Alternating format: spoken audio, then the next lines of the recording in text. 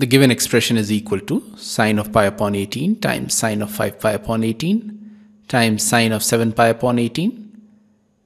Now since pi is equal to 180 degrees, this can be written as sine of 10 degrees times sine of 50 degrees times sine of 70 degrees.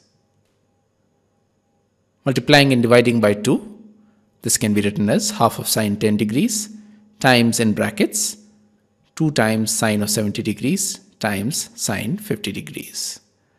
The term inside the brackets can be written as cos of 70 minus 50 minus cos of 70 plus 50.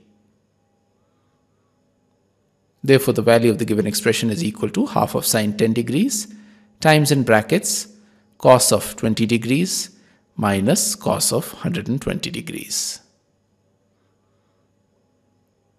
Now cos of 20 degrees is equal to 1 minus 2 times sine square 10 degrees and cos of 120 degrees is equal to minus half. Therefore, the value of the given expression is equal to half of sine 10 degrees times in brackets 3 upon 2 minus 2 times sine square 10 degrees. This can be rewritten as 1 upon 2 times sine 10 degrees times in brackets 3 minus 4 times sine square 10 degrees divided by 2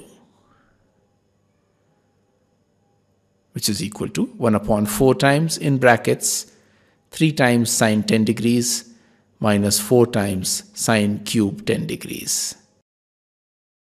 Now recall that sine of 3 theta is equal to 3 times sine theta minus 4 times sine cube theta. Put theta is equal to 10 degrees and note that the right hand side is equal to the expression in the square brackets above which is therefore equal to sine of 3 times 10 degrees which is sine 30 degrees which is equal to half. Plugging in this result the value of the given expression is equal to 1 upon 4 times half which is equal to 1 upon 8.